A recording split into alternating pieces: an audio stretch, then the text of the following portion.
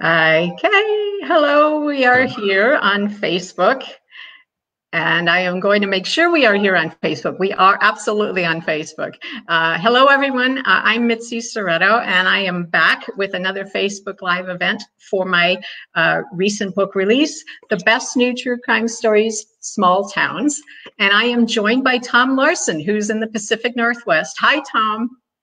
Hi, Mitzi. Again, nice to finally meet you. Remotely. I know, I know, and this is this is our opportunity to be friendly and sociable, and we don't have to worry about masks or being exactly. six feet or more away from each other. Exactly. We're like you know quite a few miles away from each other, so we're safe. Great. Oh, well, I'm, I'm really pleased you were able to join me today. Uh, and uh, we're going to chat a bit about your story uh, in the book. Um, Tom wrote a uh, fascinating story, a true crime story called A Tragedy in Posorja When People's Justice Goes Horribly Wrong. Now, I hope I said the town's name correctly this time. You did coach me. That's kind of a local pronunciation, correct? Yeah, exactly. And you know, it's it. Most people call it Posorja because the uh, J is usually pronounced as an H in uh, in Spanish, but the locals are, for whatever reason, call it Posorja. They do their own thing. yeah, yeah. There's so many. There are um, Ecuador, the dialect, you know, I learned Spanish in high school, but the Ecuadorian dialect is, is very different, a lot of idioms. And depending on where you are in the country, uh, it's it's different again, you know, so it's, it's difficult to keep up. Oh, oh, and then probably also some slight regional variations as uh, well. Uh, exactly, exactly. Yeah. Uh, so you you are actually uh, uh, very au fait with Ecuador. You you spent many years there, lived and worked in Ecuador, correct? Yes. Uh, well, I retired in uh, 2014, and my wife and I moved to Cuenca, Ecuador. Uh, we had always, um, in the past, for about the past 10 years, you know, we lived in previous to that, we lived in Portland, but and we love Portland, but it gets rainy and cold in the winter, so we would take a couple weeks and go to the south, uh, Panama, Costa Rica, Nicaragua, and we'd always say, well, you know, this would be a great place to retire but it was just uh, something you say, you know. And then around 2012, when I was uh, actually starting to think about retiring, a friend of mine sent me an article on Cuenca, Ecuador. I knew a little bit about Ecuador. I'd never heard of Cuenca, but it said it uh, located in the Andes Mountains, 8,500 feet elevation, uh, about 600,000 people. So in 2014, we just sold everything and moved down there. Uh, we didn't really have a long term plan, uh, whether we were going to stay there for a year or, or, forever, but just like that, we were uh, six years. And we came back to the Northwest for our family. Our grandkids are growing up. And, but uh, that's, I'd been writing for about 25 years. But when we moved there, of course, retired for one thing. And I just had more time to write. And I really, you know, kind of got serious about it. And then you actually were writing for the um, English language newspaper? That's correct. You know, um, I, like I said, I've been writing for years, but uh, primarily fiction. I've always, uh, I've been a reader. I still read uh, sometimes two books a week, maybe maybe more sometime, but almost always uh, fiction and primarily mysteries.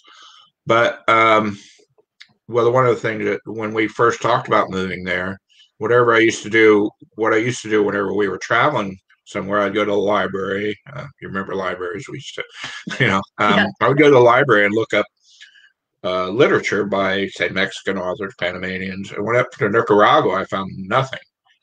And so when I we moved there, I joined a, a group called Club de Libros. It's a uh, basically book book club in Spanish, and we were able to meet, uh, we read books in Spanish.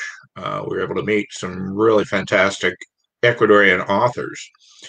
Um, and if it's okay, I'd like to give a shout out to my friend JT Nera. He facilitated the book club. Uh, he's going to have heart surgery in the near future. So good luck, mi, mi hermano. Um, yes, exactly.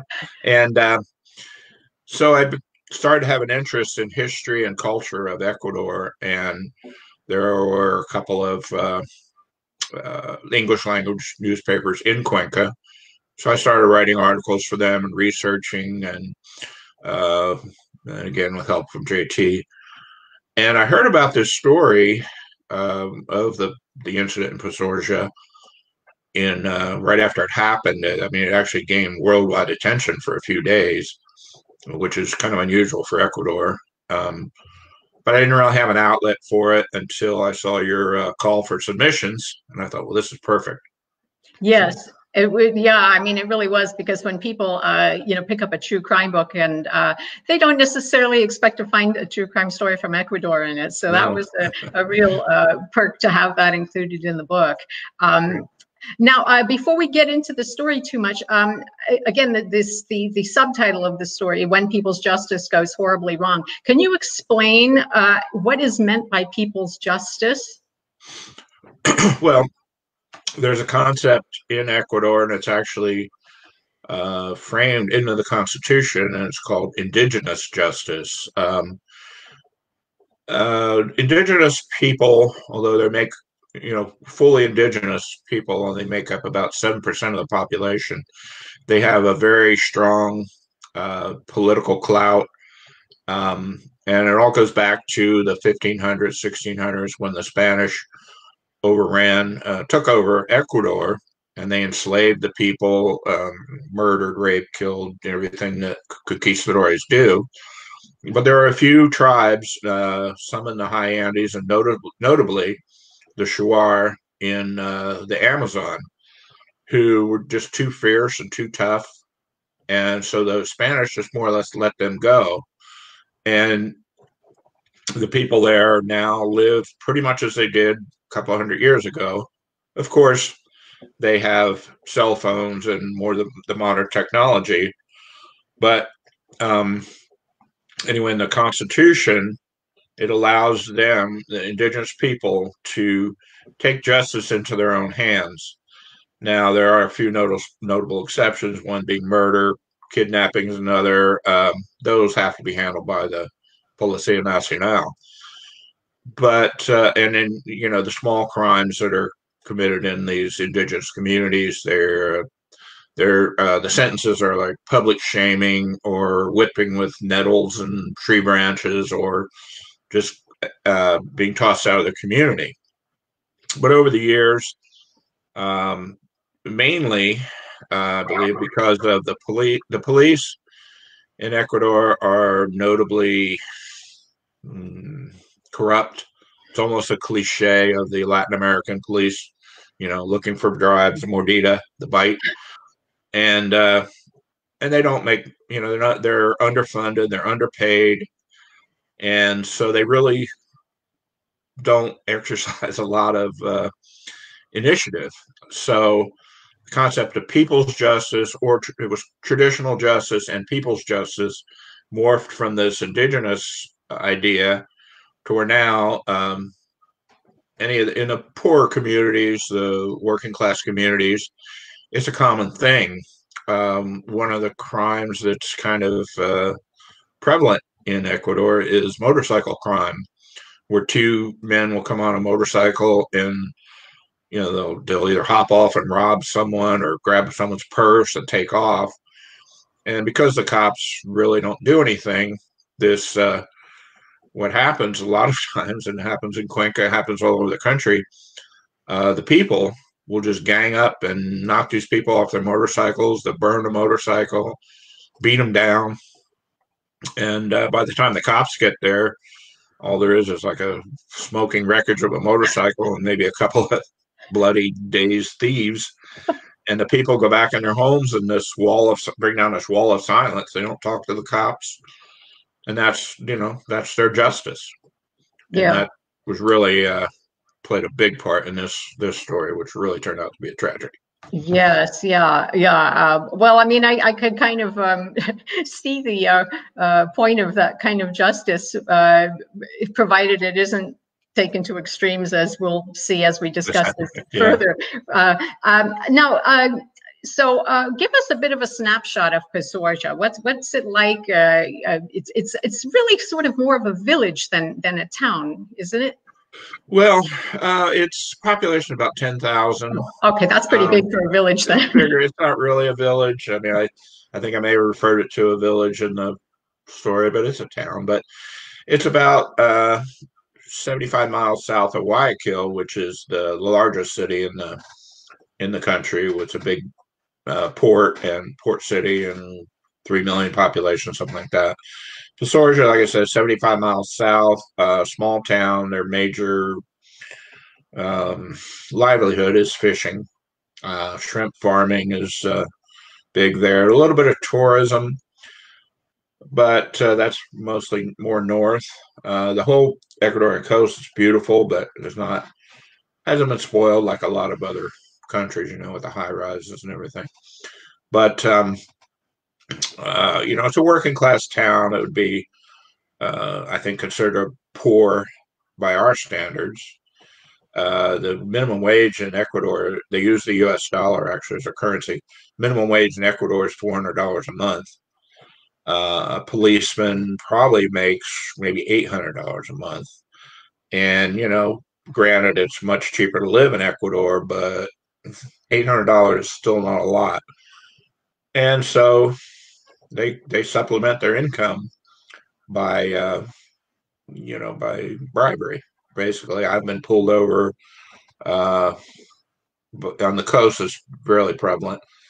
I had to pay forty dollars. It was going to, supposed to be a hundred and forty dollar fine. I gave the guy forty dollars. Yeah, those, and I went. Oh, yeah. yeah. And uh, you know, corruption is uh, again. It, it, seems like a cl- cliche, but the highest forms of government, the ex president who went out of office in 2016 is currently in uh, Belgium. Uh, escaped he if and he's been tried in absentia. If he ever returns to uh, Ecuador, he'll go to jail. His his, uh, his uh, vice president is in jail.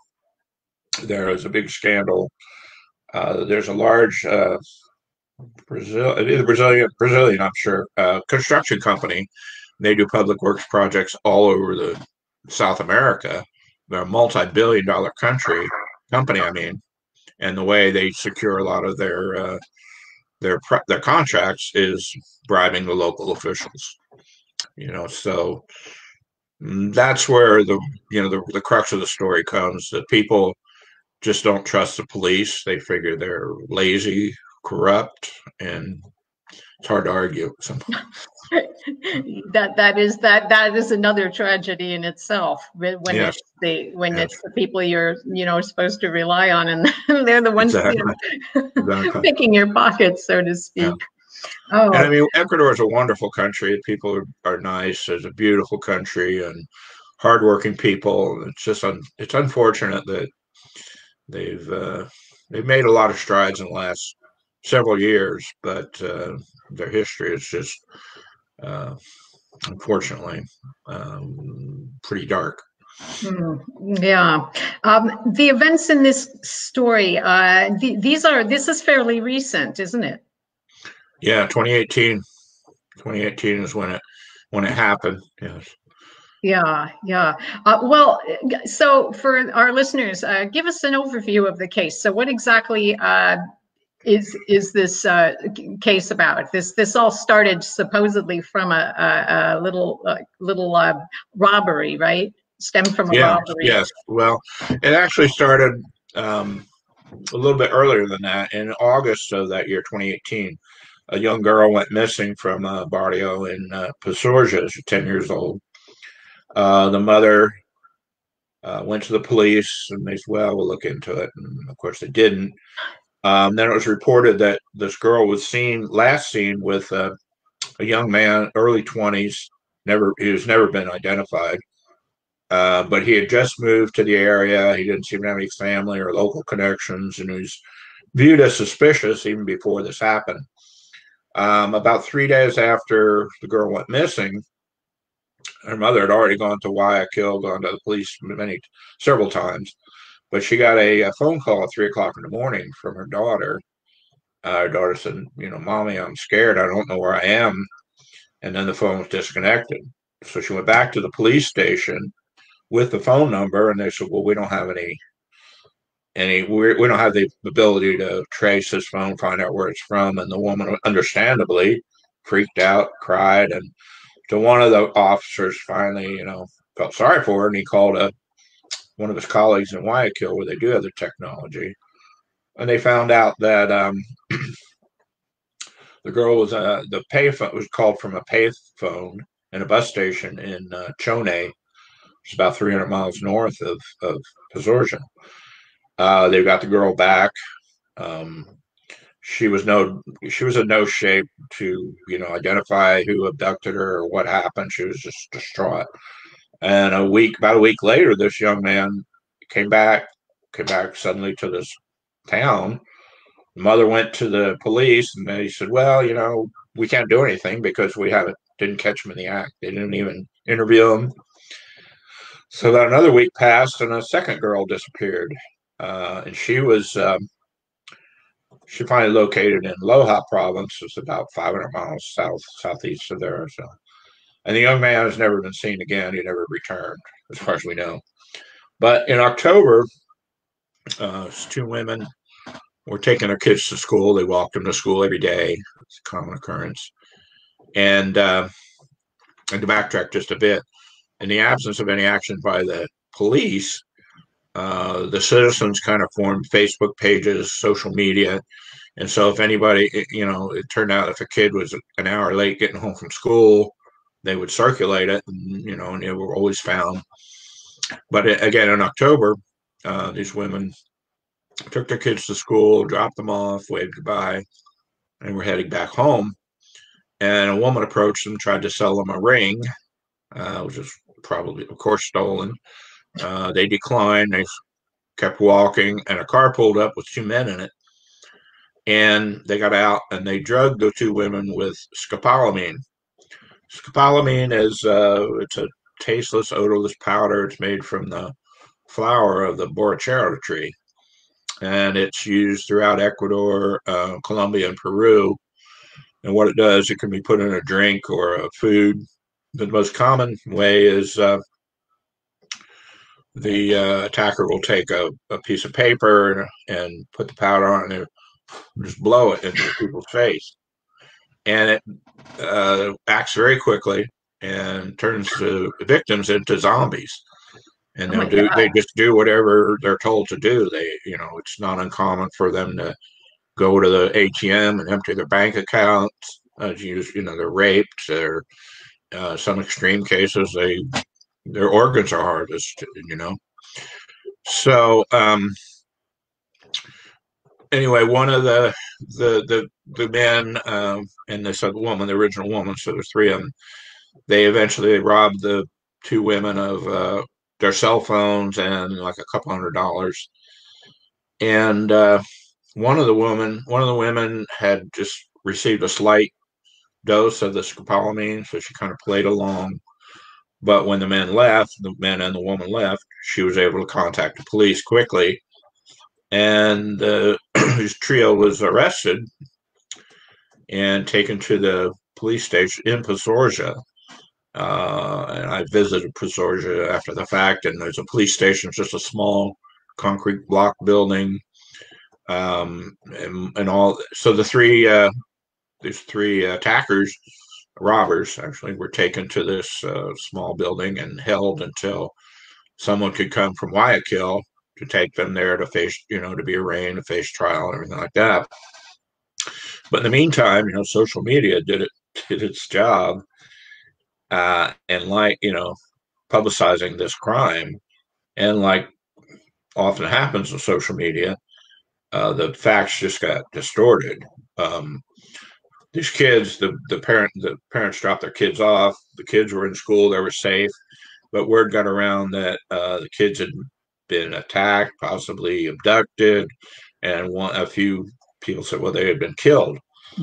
So the the arrest was made before eleven o'clock. They were put in the in they were in this uh, held in this um, police station. They weren't handcuffed. They weren't in a cell. They were just there and by two o'clock in the afternoon, uh, 2,000 people out in the streets, uh, you know, protesting and wanted access to the, you know, wanted to get these people out.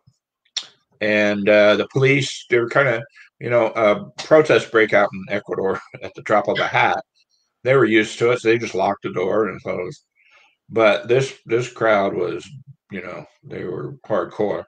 They uh, poured gasoline. They put gasoline all over the front door, set it on fire, and when the glass shattered, they rushed in.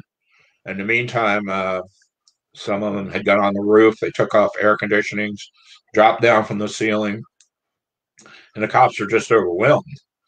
Uh, I, I did man. I talked to one of the young officers who was there at the time, and he said at that time he had just joined the force. He wasn't even allowed to have a gun.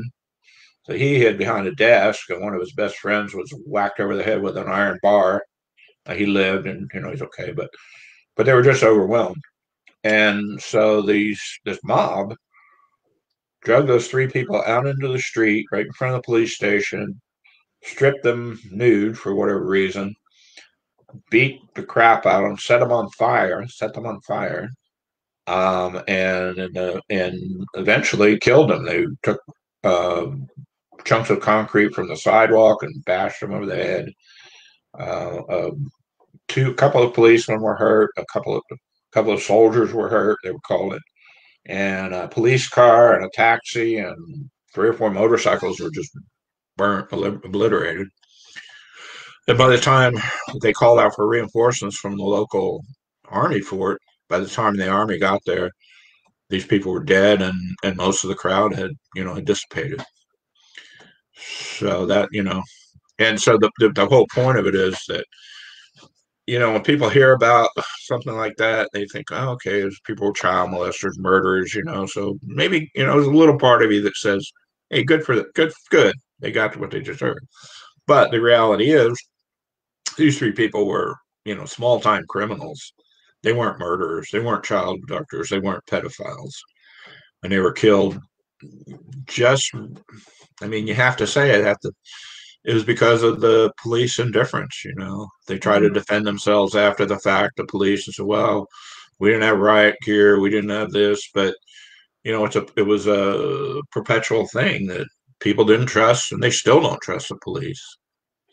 Um, I like I said, I went there in uh, 2019, spent a day talking around, and uh, you know, most of the people that I was able to talk to they said, well, you know, their their attitude was, you know, well, yeah, it was unfortunate these people were innocent, but at the same time, the cops don't do anything. They're lazy, corrupt, and we have to do it. And I talked to a taxi driver, and he said that he told me about a another incident that just happened, you know, a month before I was there, where a, um, a guy in another town stole someone's pickup truck, and they killed him I was never able to really verify that, but you hear stories like that all all the time, and and you know, in that class of society, the poor socioeconomic class, I guess you'd say, it's common, and they really don't see anything wrong with it. Well, in this particular case, the, the three individuals who are being held in the jail, um, now, these were just the the the people that uh, essentially uh, robbed the, the, the two women, right? Exactly. They, they, had nothing to do with any any child uh, kidnapping, no. child molestation, or anything like that. Yeah. So, so this somehow then then uh, uh, the role of social media twisted it.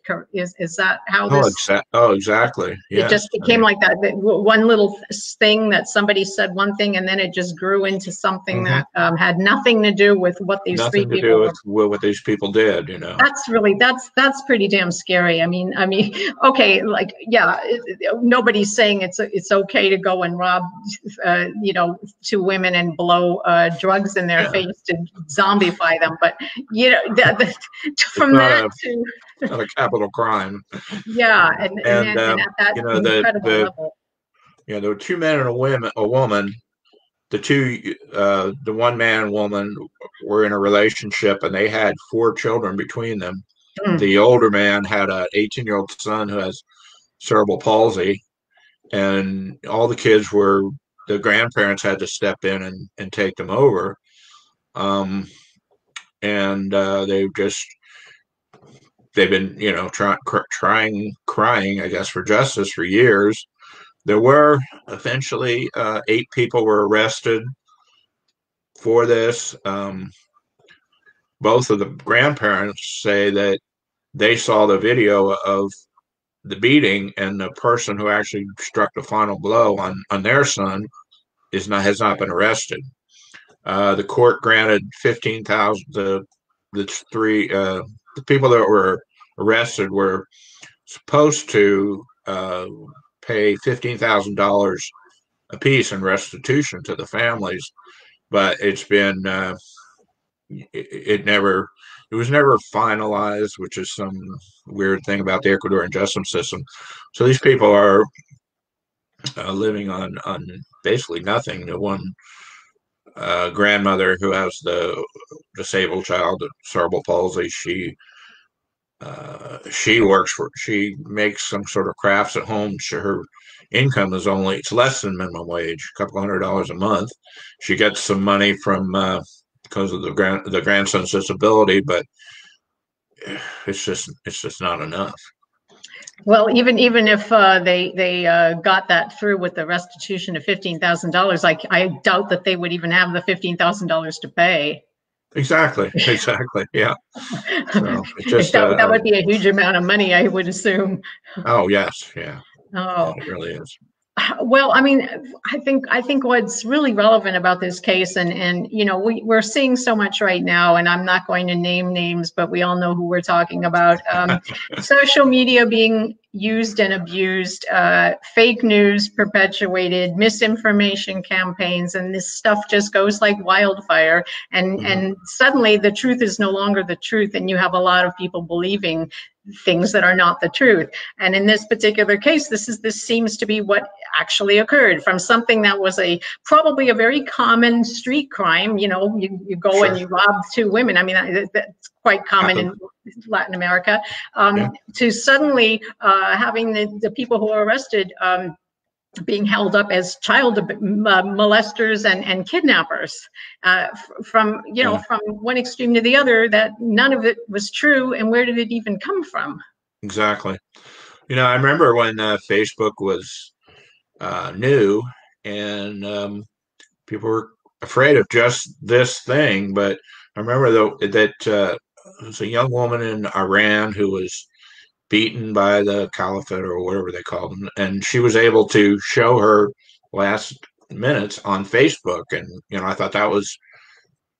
I mean that was great. I mean Facebook, you can't, I don't know, you can't blame Facebook. I don't, I don't think because it's a, it allows, you know, allows me to contact people that are hundreds, thousand miles away. But as always, uh, it just kind of devolves into something terrible. So yeah, I don't I mean, know what the answer is. But. Well, I know because I mean the, the people who initially uh, were using Facebook, and I know in your story you have where um, uh, was it was it someone at the police was saying that Facebook is something that is important because they can get word out about things like so and so is missing or whatever, yeah. and it does help uh, get the information out there, and it still does. I mean, um, yeah. you know, Twitter as well. I mean uh, not that this has anything to do with it, but you know, like I often get involved with reposting things like for animal rescue and stuff and the information sure. does get bounced out there yeah. and uh, so i mean it serves a really excellent function and it's just a shame that uh, it's been uh, abused and and turned into something that it shouldn't be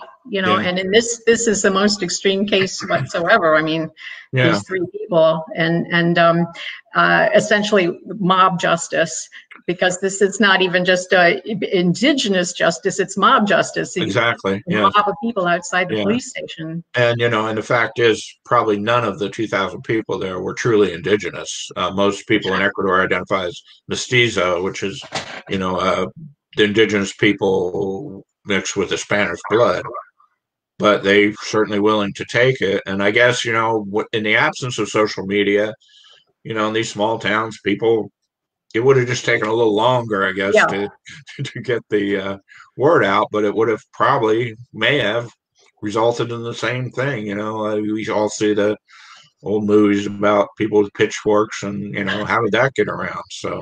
Well, yeah, exactly. It, it, I, I, also think it probably would have resulted in the same way as well, because the, the, the rumors would just be passed from, you know, one home, household to the next to the next, each mm-hmm. time mm-hmm. being more embellished and, yeah. and more false. And, yeah. uh, you know, but like you said, exactly, it wouldn't have been as organized. Right. Wouldn't have been as quick, but it may have quick. happened anyway. so quick that no one had time to do anything about it, which is right. um, pretty sad. Um, yeah. So, so the so the little police station there is is still the same little police station, but yeah. repaired.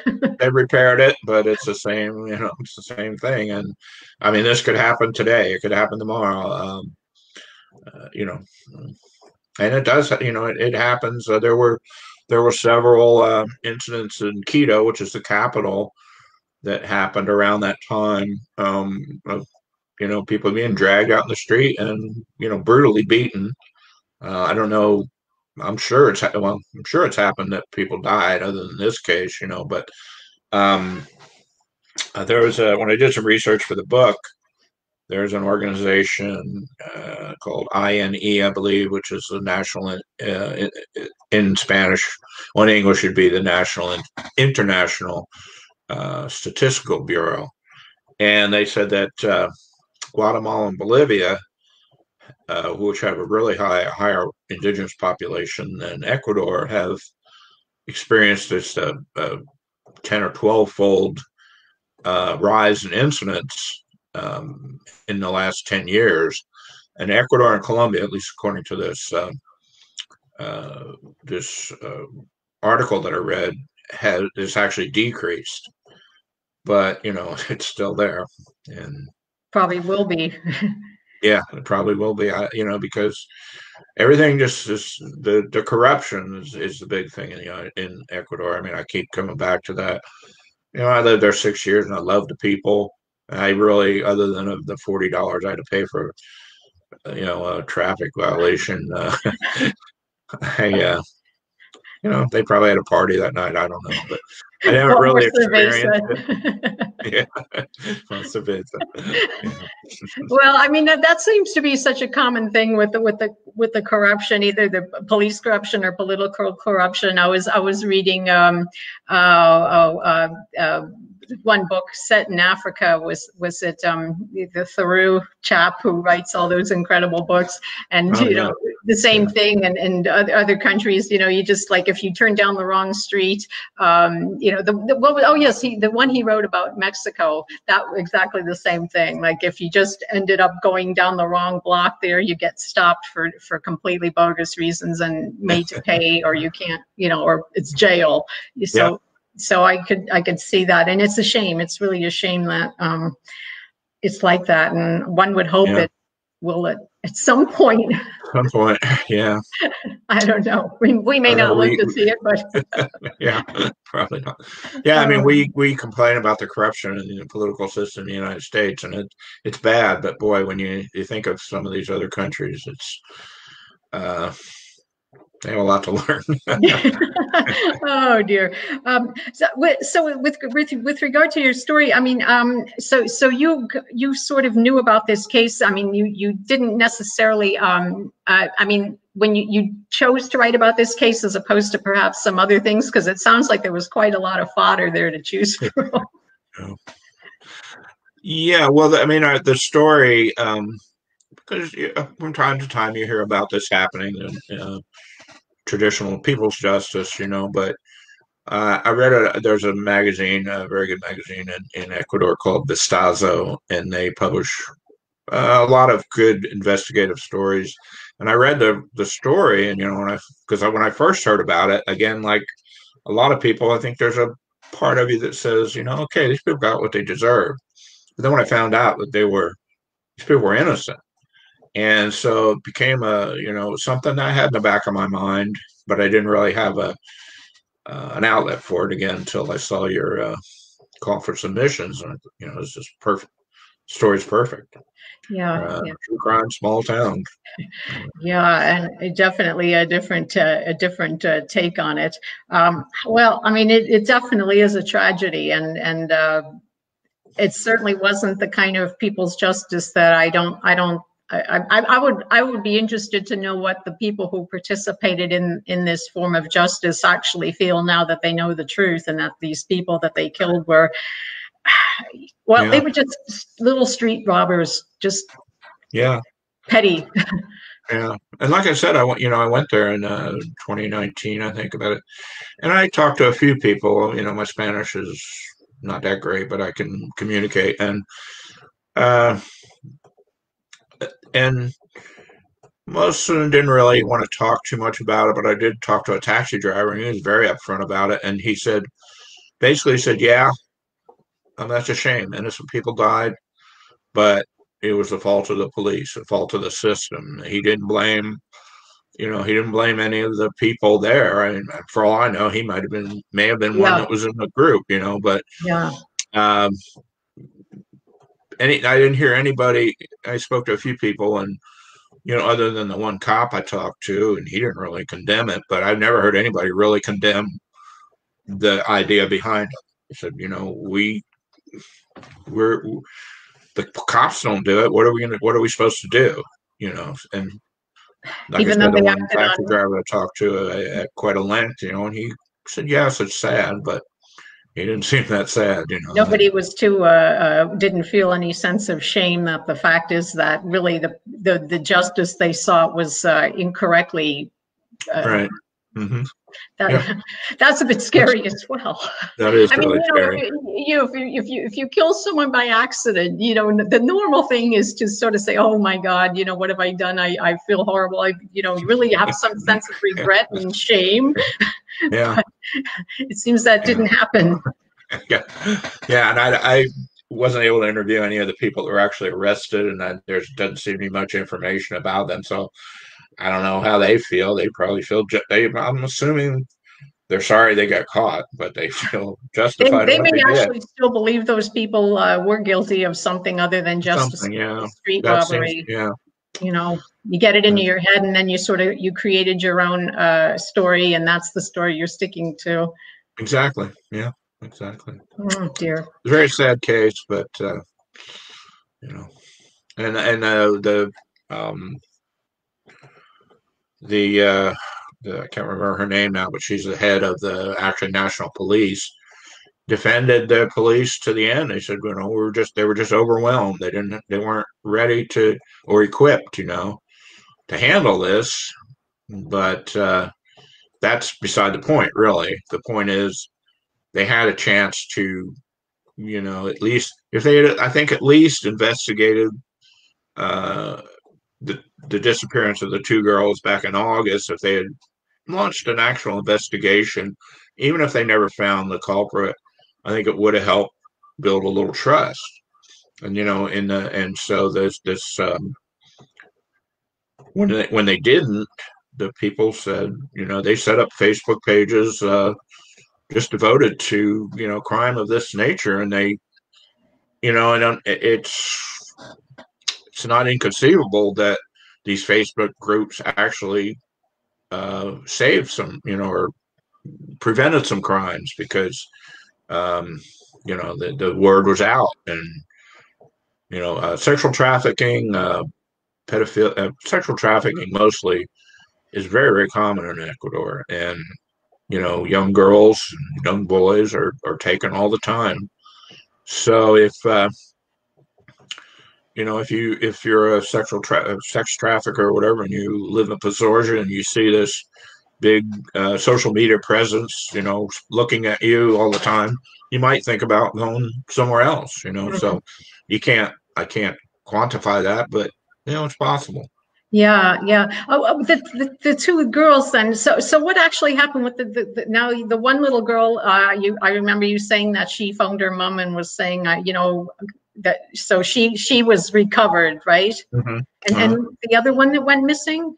Yeah, she was recovered in uh, Loja province, which is about 500 miles oh, yeah. east, you know, and uh, they, uh, according to whatever, they have uh, been given counseling, and you know there are some uh, some uh, resources to try to help them recover. Uh, the two women who who's who were drugged and and called the police and, and identified the robbers there and uh, um, witness protection you know, because uh, the the families of the of the people who are killed blame them in some way and they've had death threats and so it's just a big circle of yeah. uh, of terribleness. Well, yeah, I could see that word. everybody wants to blame someone and and and lash yeah. out at someone, and so I mean, yeah, I could see that the two women who were just victims themselves are now being targeted by. Mm-hmm. Yeah, what a mess. It's a total mess, is what it is. Oh my goodness. Um, well, um, in closing, let me just ask you, uh, do you have anything you would like to mention that you're working on now? Uh, I know you have something coming up in my third book. Yes, yes, uh, uh yeah, another year. Hopefully, we'll be doing this. Um, I've been, I primarily write short stories. I have a few books up on Kindle. You can search Tom Larsen on Amazon Kindle if uh, but you know i'm sure you know the kindle anybody can put a book on kindle but it's a matter of you know um, selling them but i would if it's okay i'd like to call everyone's attention to this book um, it's called the return uh, and it's by achilles Himbo Himbo Cordova. He's an Ecuadorian author, and he wrote the original. The original book was called El Retorno, and I was uh, fortunate enough to translate it into English. So the English and Spanish versions are both up on my Amazon page. And this is a story of uh, uh, set in the 1950s and 60s in Loja province, which uh, it was kind of about the time that, um, you know, it was primarily uh, people in Ecuador lived in the country. And that was about the time that cities started to grow up. And this family was forced to go to the city. They were quite happy in Loja, in the province, you know, but floods, uh, droughts, and they went to Loja, which is the capital of the province, and uh, they're met with the same disdain and everything that migrants all over the world are. It's a fictional account, but it has a lot of uh, history, and it's called The Return because the father, particularly, was a mother, father, and two young children uh, all he ever wanted to do was return to his home in Loja. And he finally did, but it wasn't, well, wasn't quite thought. the same. But anyway, yeah. I'd just like to publicize that. As I said, there's uh, some really awesome Ecuadorian writers. They just haven't got, primarily because of the government. Uh, it's been uh, one totalitarian government after another. They don't, they mm-hmm. just don't get the recognition like, you know, uh, Lorca and Marquez and all those Borges, all those great writers from other parts of South America. Yeah, that's so. a shame. That's a shame. Well, maybe some people watching this will be inspired to at least try to uh, seek out more books so, from yeah. that region and so. writers from that region. So, yeah. um, so, but so I, I mentioned earlier, uh, Tom's got a story that'll be coming up in um, my third volume, uh, which is uh, the best new true crime stories, well-mannered crooks, rogues, and criminals. And uh-huh. uh, that is another story set in Latin America, but I won't say anything more about it because I want okay. people to be excited and buy the book. And it's Absolutely. available for pre-order. All right. Yeah. yeah. Well, thank you again, Tom. Uh, again, to those of you uh, watching, uh, I've been speaking with Tom Larsen, who's written a story for the best new true crime stories small towns and a fascinating story set in Ecuador where he lived for many years and uh, was a journalist. So thanks so much for joining me and uh, I, I will, I'm sure we'll chat again when the next book comes out. I, I hope so. It was very great. It was nice to meet you and uh, I enjoyed it. Thank um, you, Tom. And thanks everyone for tuning in. Okay. Bye. Bye.